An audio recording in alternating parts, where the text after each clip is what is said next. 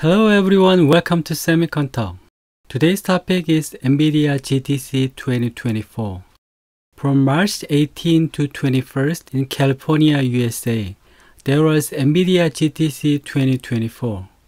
And GTC stands for GPU Technology Conference.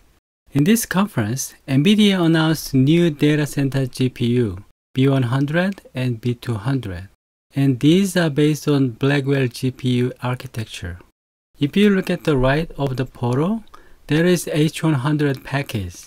And at the left, there is B100 package. As you can see, B100 is bigger than H100. This is how B100 package looks like. At the center, there are two GPU dies, and these are made by using TSMC 4nm technology. At the top, there are four HBM3 memory modules, and at the bottom, there are four HBM3 memory modules additionally. At the periphery of the package, there is a metal stiffener to minimize package warpage. This is both photo of GB200, and GB means Grace CPU plus Blackwell GPU. At the top, there are two B200 Blackwell GPU packages. At the center, there is one Grace CPU package. At the left of Grace CPU package, there are 8 LPDDR memory packages. And at the right, there are 8 LPDDR memory packages additionally. This is NVIDIA Data Center GPU evolution. H100 GPU started its production from September 2022 and it used TSMC 4nm technology and HBM3 memory module.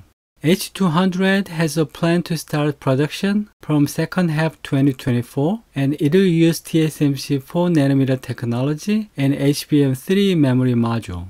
B100 also has a plan to start production from second half 2024 and it will use TSMC 4nm technology and HBM3 memory module. NVIDIA B100 and B200 are known to use TSMC CoWoS-L package technology. And CoWoS-L means chip on wafer on substrate local silicon interconnect. It is a package structure to use small silicon bridge die, so-called LSI, instead of large silicon interposer. And this silicon bridge is embedded in molding area and connect SoC, GPU in this case, and HBM memory module.